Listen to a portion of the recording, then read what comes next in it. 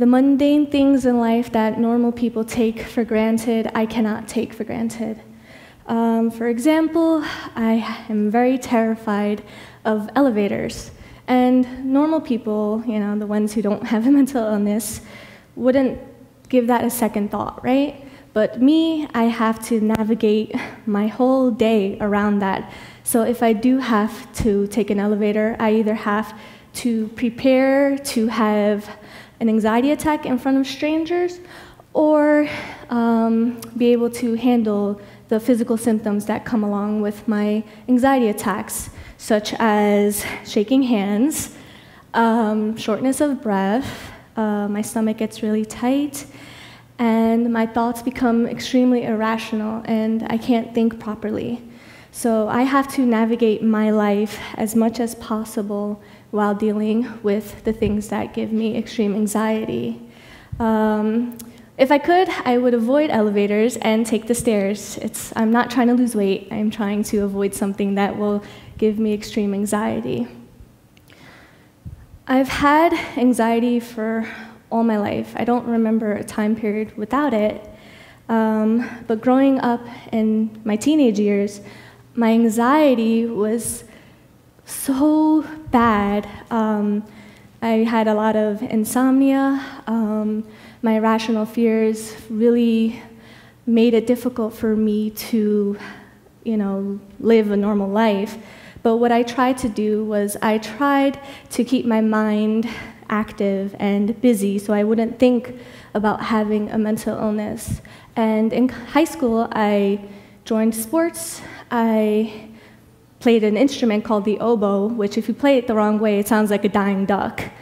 And I was in a lot of after school activities, and I even had a lot of boyfriends. So it definitely looked like on the outside that I was a normal teenager. But in reality, when I would come back home or even have a moment to myself, my anxious thoughts, my irrational fears would come back and remind me that I wasn't a normal teenager. And of course, you know, no one really knew what I had. I didn't even know what I was going through, nor did my family. And it was basically, basically um, put aside as just teenage hormones.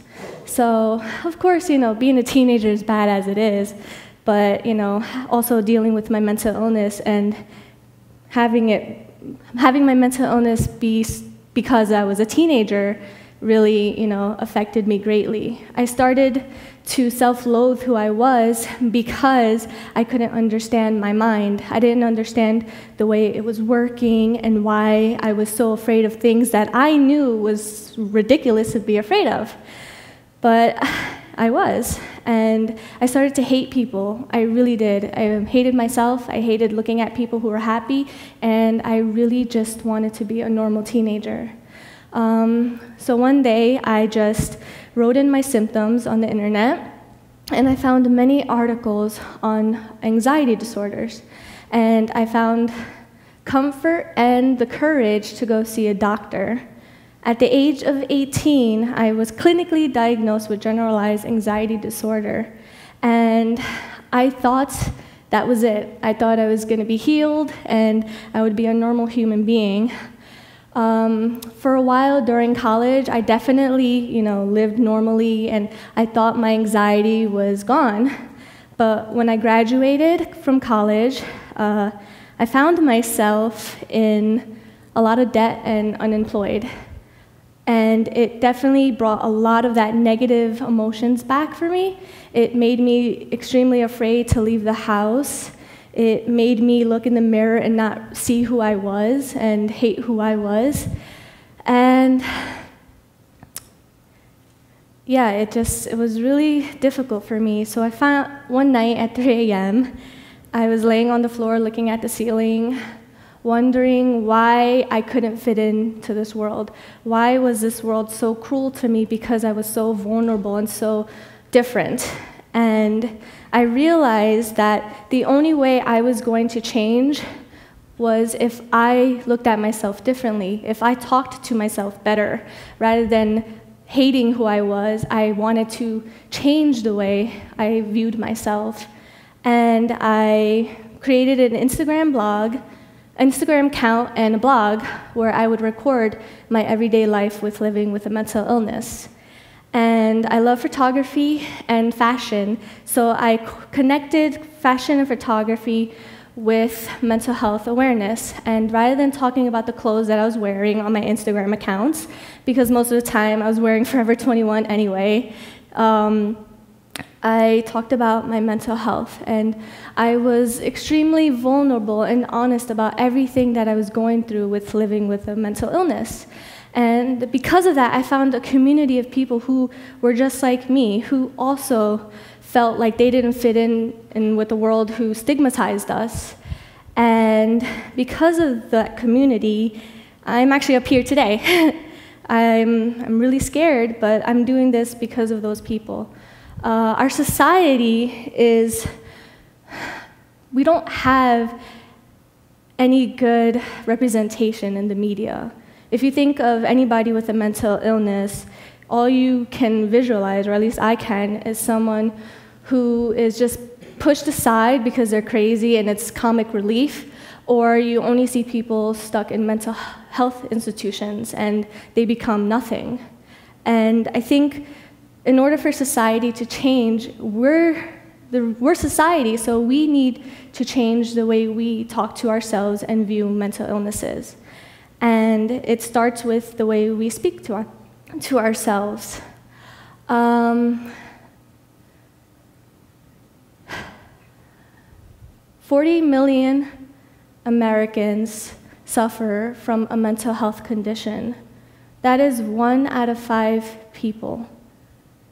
So, someone you know has a mental illness, and most of the time they keep quiet about it because they're so afraid of the stigma that surrounds having a mental illness.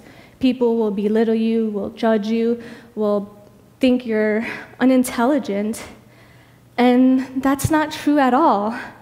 I mean, I don't believe the dictionary when it says vulnerability is synonymous with weakness. I disagree. I think vulnerability equals strength, and to be vulnerable is to be human, to be scared, to feel everything and accept those feelings is what's necessary. It's not easy. It's always an everyday battle, but it's a battle that I know I need to keep doing to survive and also to raise awareness.